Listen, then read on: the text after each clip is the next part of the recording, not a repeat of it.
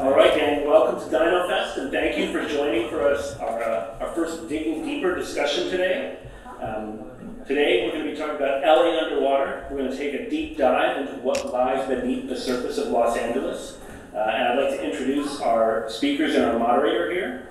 So we have uh, Alan Zdinak, who is our senior preparator of vertebrate paleontology. Alan received his training in fossil preparation and archival specimen housing at the American Museum of Natural History in New York. Here at NHM, he's helped redesign and renovate the museum's fossil prep lab, and he's an active member of the greater paleontological community, teaching workshops at professional meetings such as the Society of Vertebrate Paleontology. Next, we have Dr. Austin Hendy, who's our assistant curator of invertebrate paleontology. After obtaining his doctorate at the University of Cincinnati, go Bearcats, Austin was a postdoc fellow at Yale University, the Smithsonian Tropical Research Institution, and the Florida Museum of Natural History.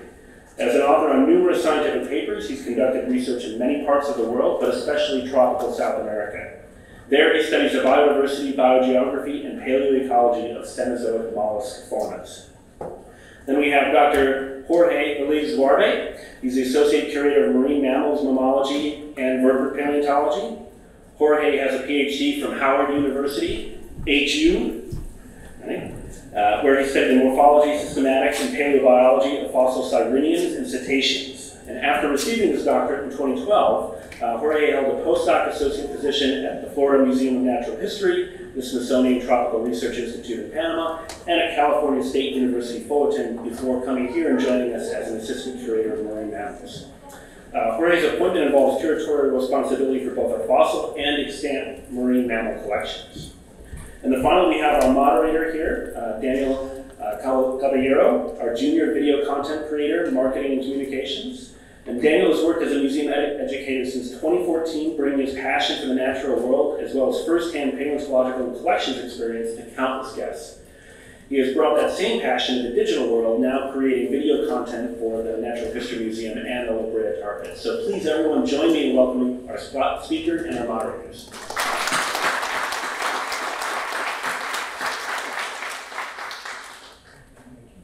Oh, nice mood lighting now. Welcome everybody. Thank you so much for coming. Thank you for finding us as well. How are you all enjoying DinoFest today?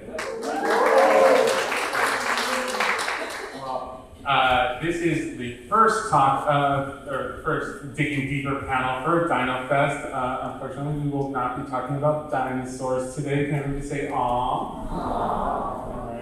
Uh, but we will be talking about something uh, just as interesting and, and, a little closer to home, actually. Today, we, are going to go ahead and talk about that fantastic new exhibit by NHMLA that's free. It's on the first floor next to the uh, next to the current Los Angeles exhibits, Los Angeles Underwater, also known as LA Underwater, if you guys you know, like to abbreviate things. Now, how many of you have gone to go see the exhibit by show of hands?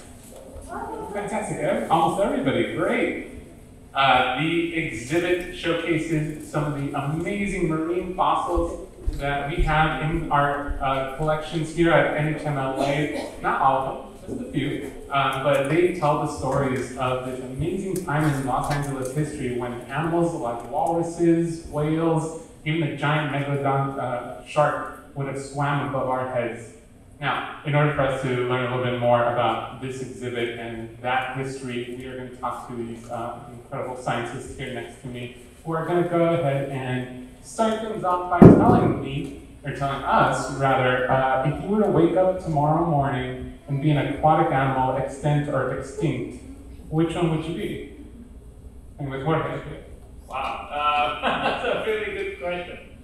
Um, I'll be maybe uh, sea cow. Unfortunately, they're extinct, but they were the largest sea cow to live ever in our oceans. They, especially this kelp eater. They're, they're very weird. You know, that was my question, my answer too, by the way. I mean, the majestic sea cow, I feel like, is the correct answer. Uh, awesome. I, I really thought you would have gone on the fifth right?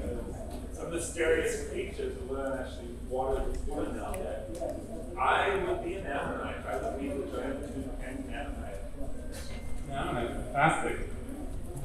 I think your mic is up. It is. There you go. All right, Alan. Uh, well, I was just upstate, uh, up the coast, and uh, was delighted to like see a whole bunch of sea otters around all there. So I, I guess I'll go with sea otters. Sea otter, that sounds pretty good. Very, very, very uh, cute uh, videos online and uh, holding the hand and things like that. It's great. Um, but the correct answer was uh, manatee. All right. So yeah, this exhibit, like I said, uh, just showcases some really fantastic uh, fossils from our collection. But I think it's important for us to lay the groundwork and really understand uh, how we know that Los Angeles was underwater. And uh, I think uh, I'll, I'll ask you, Austin, since uh, uh, Austin is the collection manager for Invert Paleontology, and there's one exhibit in that, uh, there's one fossil in that exhibit which is, has such a fantastic display, the Ammonite fossil, like you mentioned before, which I believe is the oldest uh, one there. That would be the oldest fossil we have on, on display. Right. Yeah, so that's about 80 million years old, that specimen. And, and I love it. It's a local, it's a giant ammonite.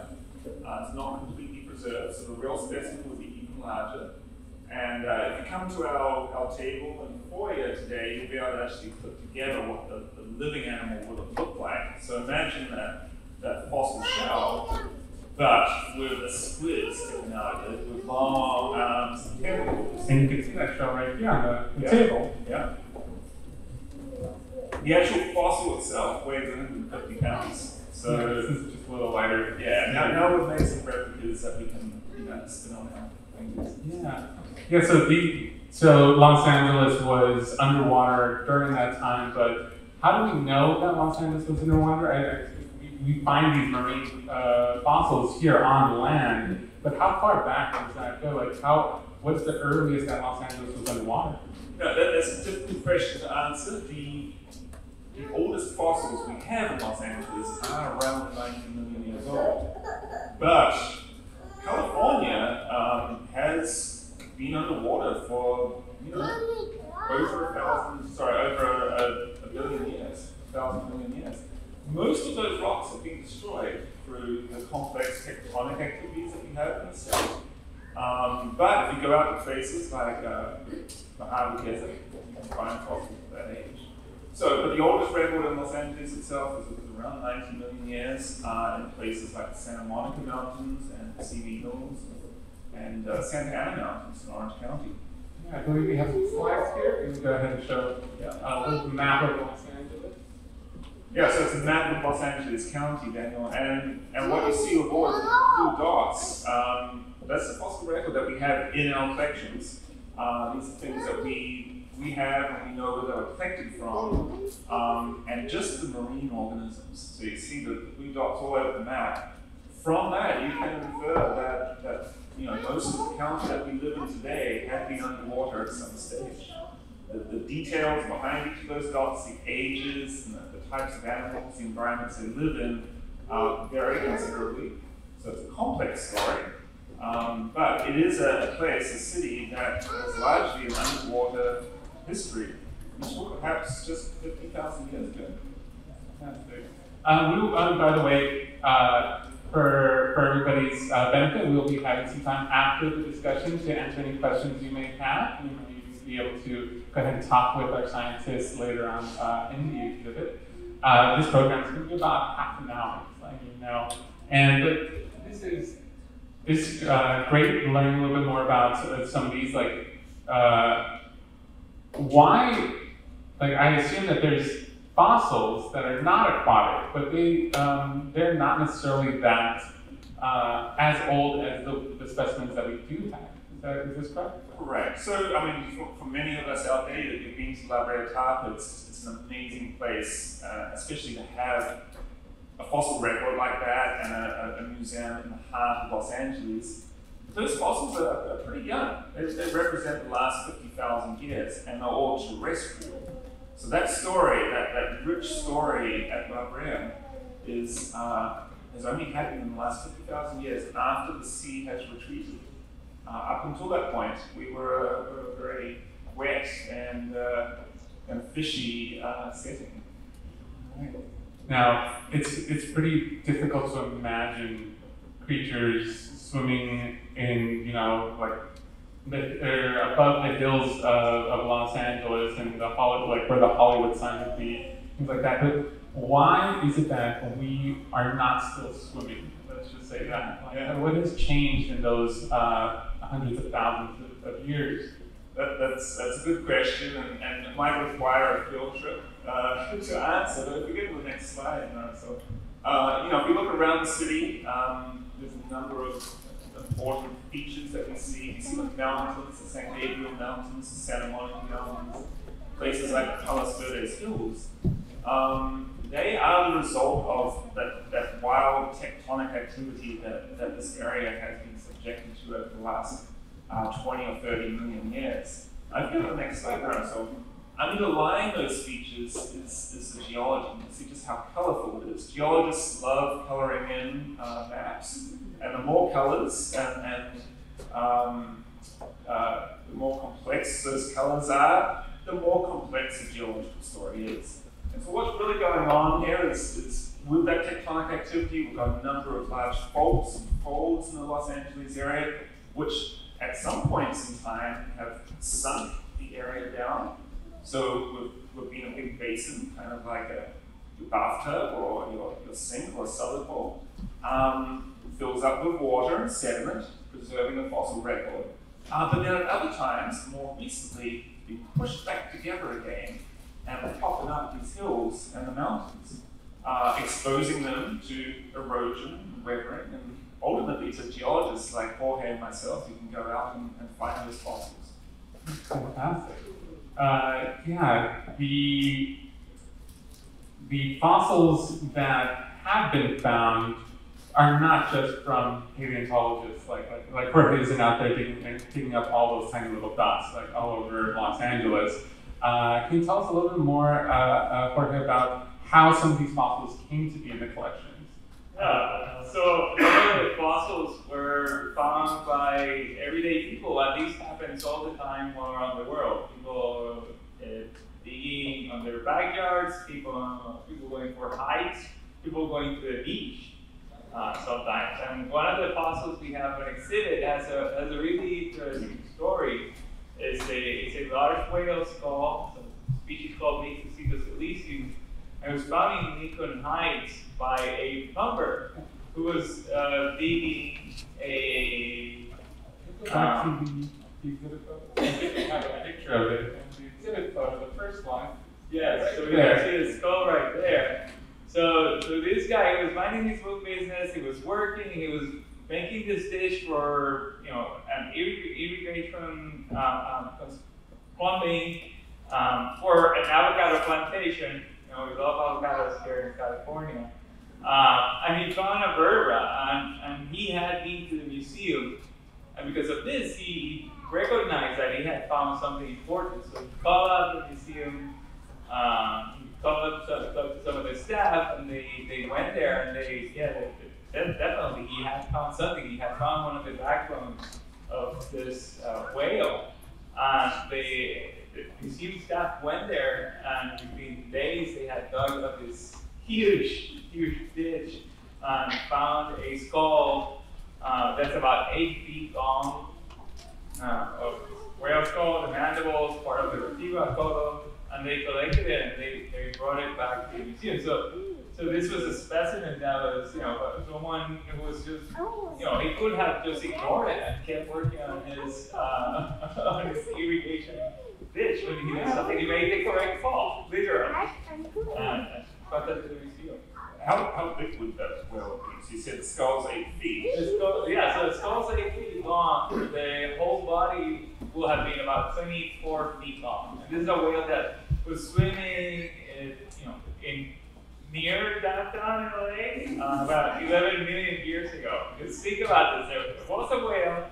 Um, think about it more recently. There was a avocado plantation uh, near near downtown. Um, nothing like what it looks looks like today. Uh, so it just tells like one of these many, many, many stories of fossils discovered all around uh, LA County and Orange County and other parts of California. So if you folks want to go today, uh, later on in your backyard and start digging up your, your yards there, you might get lucky. Unlike me, as a child, who only found a broken toilet. but apparently there are other things out there. Uh, so you, you, uh, your collection, of, uh, your mammalogy collection, um, how many uh, specimens would you estimate to be in, in your uh, collection? Just mammalogy. We have thousands and thousands of specimens. Uh, within both the fossil, within the collection of fossil marine mammals and modern marine mammals, we have one of the largest collections in the whole world. So you think about that here in LA, this museum. Uh, as a researcher, of course, that fills me with joy because it means I can, I can work on, a variety uh, of projects, not, just me, but my colleagues and for my students. Uh, there's, a, there's a whole wealth of information we can um, bring out to people through either scientific publications or communications, and museum exhibits. And we can tell the stories of animals that, you know, sometimes we think about them, uh, things like, for example, walruses. We can, go to the walrus slide. We also have some fantastic uh, specimens here that uh, uh, we brought out. It's, well, we're going to that slide, I'll make one point, and that is that Lincoln Heights whale, that was your first fossil whale in the museum collection. So it all started off with, with that one on the avocado plantation, you know, one of the world's largest sections. Yeah, I was going to ask, like, what are some of the criteria that uh, you look forward to, or like, why did you pick the specific specimens in the exhibit? So it, it was a, it was a difficult choice. That's a really good question. So you know, we were looking for specimens that could tell either a story of discovery, like the like the Lincoln Heights whale, or a story of a, particular group that we that, like it will never cross our mind that live here. Uh, for example, walruses. You know, walruses. You know what, what they look like. This is just a gentle reminder. You know, it's very large pinnipeds. Um, Second floor of the museum, by the way, if you want Yes. to take a look. uh, with this very long tusks, sometimes they are three feet long, but they didn't always look like that, and they didn't always live in the Arctic region. Uh, can we go to the next slide? So when we look at the fossil record of walruses, which goes, which begins about 17 million years ago, uh, they're all around the North Pacific region, where you can look at all those red dots in California. That means that a lot of their prehistory is known from fossils that have been found and described in California. And LA County and Orange County are, are not, uh, are some of the prime places uh, where people have found fossils that can help us tell the story of, of how walruses uh, became these fossil giants. And on the top, uh, we have your top left, that's a stuff, Polish Waranite, that's a water right now. It doesn't look like the iconic water, which is the skull towards the right, uh, with a big tusk, kind of a big bulky head. Um, ancient walruses for a long time looked kind of like either smaller or larger versions of a California slide. Very much like uh, so there's there's some things that we're trying to figure out about their, their shift in diet and habitats that um, kind of kind of drove this evolution, these evolutionary changes that made our waters what they are nowadays. And these fantastic, uh, these fantastic fossils can help us really get to know these animals and like start to figure out why they would move. Like, they, like what has changed in the past hundred thousands of years to actually um, not, you know, go out and see a walrus, you know, uh, in traffic.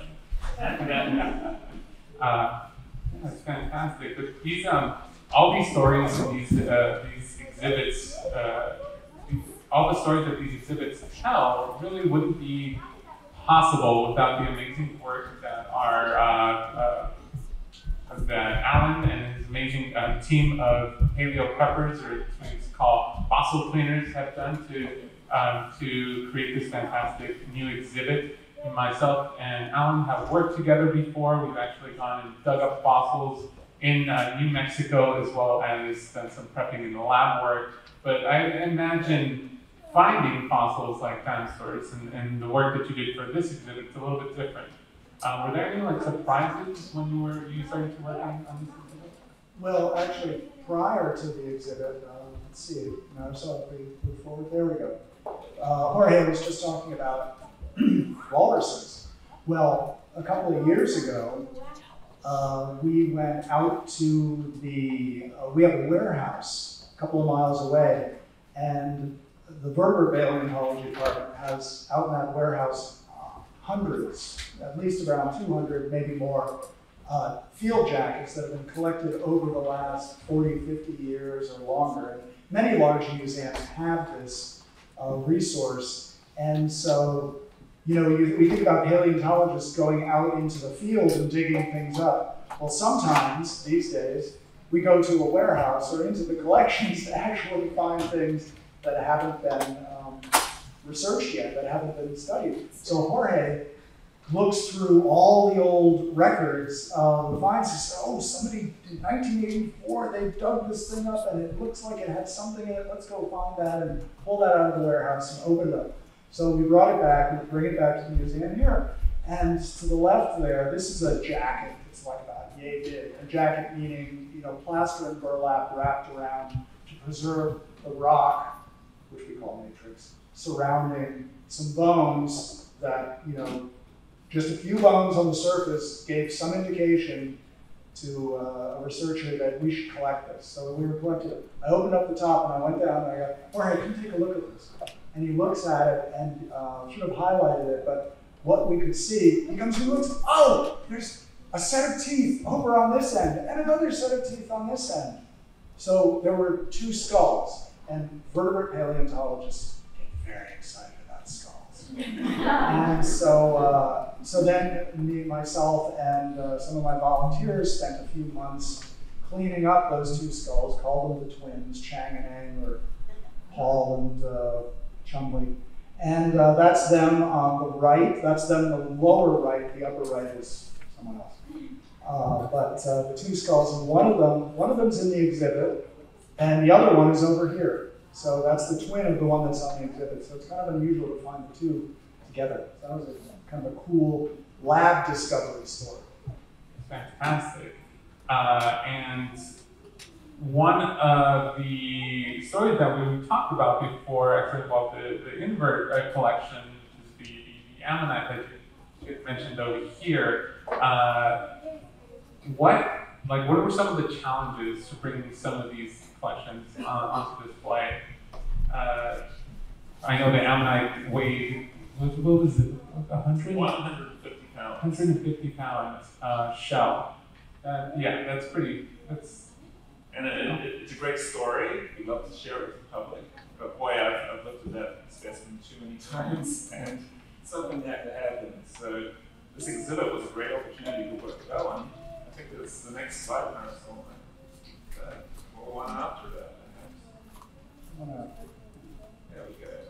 To, uh, to create some replicas of that, um, which we could use both for our see it on the foyer today, um, but also to support some, some um, artistic reconstructions. We're actually bringing that fossil to life with a, an artist, who's also in the foyer today with us. Um, and he'll be, uh, he'll be putting the, the soft body part of that animal into its shell. Hopefully we'll have that on display at next year's Manifest. But Ellen, Well, so, well, so what we have on display in LA Underwater is the actual fossil, this 150 pound, uh, 80, 75, 80 million year old ammonite. Uh, wonderful, wonderful fossil, but, uh, and in order to not overhandle that, you know, so one of the problems we have with fossils that they, is that they're sometimes both heavy and fragile. So, uh, uh, we went through the process of molding and casting it the old-fashioned way. In another 10 years, we'll just be 3D printing these things, but still, this is still the best way to do it. And the only complication, the shape isn't complicated, but the weight and having to flip it over and, and uh, do both sides of the, you know, we're painting rubber on there, liquid rubber, and then uh, plastering fiberglass shell, and then actually pouring the, uh, the resin. But this just goes to show, uh, and this was so that the mount maker, a guy named Scott, could use that instead of the actual specimen to build the, the mount, and then at the last minute we swapped in the actual specimen. And now Austin and company have uh, a very fine, absolutely accurate cast. So when you go through you know, the fossil halls, people often ask, oh, is that real or not? If it's not the actual fossil, we have gone to extraordinary lengths to make it absolutely accurate. And uh, so when you see those things, it may not be the actual fossil, but you can believe me, it's scientifically uh, accurate. And it also goes to show the small army of people working on exhibit. Uh, we have, you know, Colin, the artist, who did some recreations, and then our whole exhibits team who mounted, who created everything in the show surrounding the fossils, all those cases, all the projections, all the lighting, and uh, they did an amazing job. And I hope uh, people, when you walk into that exhibit, can feel, uh, you know, the ocean kind of, I won't say vibe, I'm gonna use that word, uh, around them. But that brings me to my last question uh, for our panelists here, which is, what do you hope people take away from this exhibit when they, when they go and when they leave? Ah, that's a very good question. So for me, it's um, kind of like the story of the plumber finding the fossil and contacting the museum. Uh, because, you know, we, a lot of times, uh, it's very hard for us to go out to the field to go explore and find fossils. But the everyday people, uh, people who are going hiking often on their weekends, they can come across fossils. They're, they're like our eyes. They become our eyes in the field. A lot of times when we cannot be there. And by contacting us with uh, your questions and photos of specimens, we can guide you to figure out what you found. So just, you know, next time you're out on a hike or you go to some of the beaches here where people sometimes find fossils, uh, have no doubt you can contact us and uh, we'll, we'll round up our experts uh, and try to work with you to figure out what you found. Um, so that's one, that's one of the main things I want to uh, take from this exhibit. I'm going to piggyback off Jorge and say everybody can be a scientist or participate in the scientific process. So that's essentially what Jorge is saying there, but, but you all have the potential to go out and make discoveries and be part of the process of, of science that we do here at the museum. But secondly, that the city that we live in, this wonderful place, uh, fossils can be found everywhere. From Malibu to, to Long Beach, Inglewood, Compton, uh, we have a rich fossil record in our collections. Uh, and we tried to get many of specimens from all over the city into the exhibit. So I hope people take that away, that uh, all parts of our, our town tell the story of Los Angeles underwater. And I, I think what I hope people take away from it is the sense, you know, using this very local, I love that it's such a local exhibit, but it uh, shows us something that, you know, we understand is right under our feet how far back in time it goes. You know, paleontologists talk about deep time. So I hope you come away with a sense of, wow, you know, LA was underwater most of its history. LA wasn't even in California, it wasn't even where it is now. It was in Mexico when, you know, at a certain point, basically. So that, uh, you know, that sense of deep time and how the earth goes way back you know, is going to be moving forward as well and uh, will continue to change. And just to appreciate that sense. Fantastic. Thank you so much, uh, panelists. Can we give them a round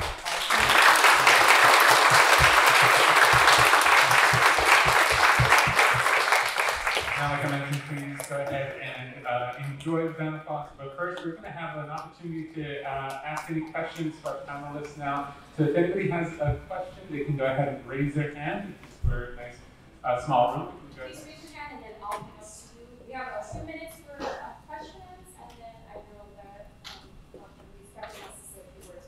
Oh, absolutely, fantastic. Uh, yes. Uh, how, how quickly did LA stop being underwater? And how quickly did LA stop being underwater? I, I could probably answer that fairly quickly. Um, you know, right now, Earth, Earth is in a period of, of rising sea level for human-induced reasons. But there's there's natural cycles of sea level rises and falls, and um, at the moment they're happening every hundred thousand years or so. Um, so the last the last time the basin, which essentially all the flat parts of our city, uh, was underwater, fully submerged, was 125,000 years ago. And then it started draining. Uh, the, the shoreline started moving towards the south and to, to the west, to its present position. Um, and that, that took place over the next um, 100,000 years or so, but really sped up uh, from about 50 to 20,000 years ago, allowing the Tar Pits to be a terrestrial location, and of course all those amazing mammals and, and other animals uh, that have been found there to be walking around and, and getting stuck in, in asphalt. I love talking to paleontologists because for them it's like, oh, 10,000 years, uh, 50,000 years, that's real quick. All right, we have some more questions. I'd, I'd like to know about the exhibit itself and when it was initially proposed. I don't know if anybody here was part of that initial uh, proposition. How you convinced people that, that this would be a thing and whether or not what it is now is what it was initially proposed to be. Well, that's a fantastic question. Yeah, how did things get started with this exhibit? That's Uh, on Yeah, I think that the exhibit was kind of a, a collective pandemic project. Uh, we were all, uh, many of us were, you know, work, working from home. Um, I guess some of our colleagues proposed this idea, they brought uh, several of us together and started these discussions. And I think we spent like several months before we kind of like came to the, finalized or almost finalized product. Um, Yeah, it, it was our pandemic baby, for sure. And, um, you know, a, a lot of the stories were left on the cutting room floor. Um, but in a small space like that, it's hard to, to tell a, a cohesive story. There's so many things we could talk about, the geological history of this area, the evolution of all the different animals. But I think in the end, we settled on the best story, which is about the discoverers, the discovery stories, and, and the richness of the fossil record in the area. And, and for me and Jorge, I think it, it's a stepping stone into creating a, a permanent exhibit at this museum that really explores our, our ocean, uh, our relationship to the ocean, and, and how Southern California's um, modern marine life came to be. We have Thank time you. for one more question. great. Um, you had you had a question. Yeah, I was, thank you for, for, for the conversation. I think the map now is not where, I noticed there were groupings where you found the fossils. Yeah. I'm interested to see both why we saw so many fossils in those patterns and then why, why we see gaps. Yeah, yeah, that's, that's a good question. Probably best explained, if we go back to the colorful geology. There we go. Um, so, so most of the light yellow, the lemon color there is the very youngest sediments, the youngest rocks, not even rocks, loose sand and gravel that's come down the mountains from the San Gabriel's, from the Santa Monica's, uh, and it's not marine, so it's terrestrial. You'll find the occasional horse, bison, bone in, there, but, but not particularly fossiliferous. The marine rocks are largely underneath that stuff. So that's why there's big gaps in the, the map dots, because you have to dig a long way down, thousands of feet in places. Where you have concentrations of dots are where we have colors on this map. Um, particularly the Palos Verdes Hills, Santa Monica Hills, the Simi Hills, the Santa Anas, um, and that is where it's been uplifted.